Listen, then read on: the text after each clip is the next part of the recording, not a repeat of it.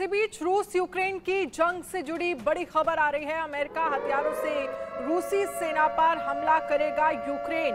रूस के खिलाफ अमेरिकी हथियारों के इस्तेमाल को मंजूरी मिल गई है। बाइडेन ने हथियारों के इस्तेमाल को मंजूरी दी है। बाइडेन के फैसले से रूस के राष्ट्रपति पुतिन जो है, वो फ़िलहाल परेशान है। तो ये बड़ी खबर, अमेरिका जिस तरह से यूक्रेन की लगातार इस जंग में मदद कर रहा है और अब ये कहा जा रहा है कि जो अमेरिका से हथियार मिले हैं यूक्रेन को, उन्हीं हथियारों से रूस पर यूक्रेन हमला करेगा।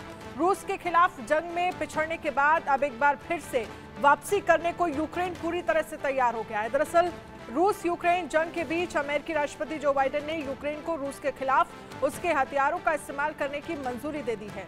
यूक्रेन इन हथियारों में रूसी सेना पर सीधा हमला कर सकता है।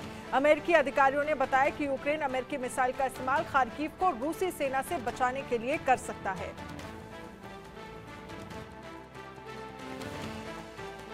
पुतिन की धमकी के बाद अमेरिका का बड़ा ऐलान। रूस के खिलाफ यूएस के हथियार इस्तेमाल करेगा यूक्रेन। अमेरिकी हथियारों से यूक्रेन की बढ़ी ताकत। बाइडेन के फैसले से जेलेंस्की का जोश हाई सदमे में पुतिन। रूस के खिलाफ जंग में पिछड़ने के बाद अब एक बार फिर से वापसी करने को यूक्रेन पूरी तरह से तैयार हो गया है। दरअसल रूस यूक्रेन जंग के बीच अमेरिकी राष्ट्रपति जो बाइडेन ने यूक्रेन को रूस के खिलाफ उसके हथियारों का इस्तेमाल करने की मंजूरी दे दी है। यूक्रेन इन हथियारों से रूसी सेना पर सीधा हमला कर सकता है। अमेरिकी अधिकारियों ने बताया कि यूक्रेन अमेरिकी A T A C M S missile का इस्तेमाल खारकीव को रूसी सेना से बचाने के लिए कर सकता है। इसकी रेंज 300 किलोमीटर है। हालाँकि इनका इस्तेमाल रूसी सीमा के अंदर यूक्रेन नहीं करेगा। रूस ने 10 मई से खारकीव में हमले तेज कर दिए थे।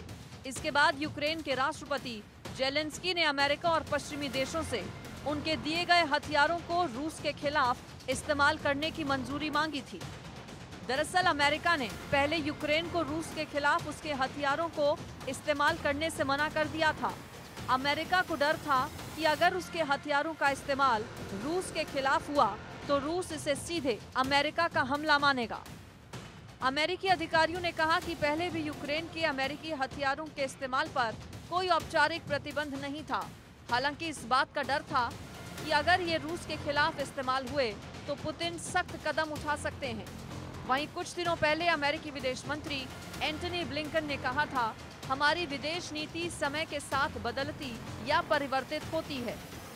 यूक्रेन को हथियारों का जखीरा देने का फैसला अमेरिका ने ऐसे समय में लिया है, जब दो दिन पहले रूस के राष्ट्रपति पुतिन ने यूक्रेन को हथियार देने वाले देशों को चेतावनी दी थी।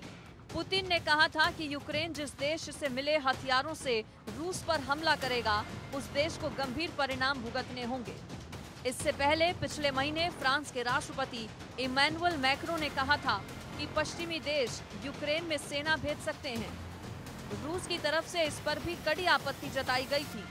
रूस की ओर से कहा गया था कि ऐसी किसी कोशिश के गंभीर परिणाम होंगे।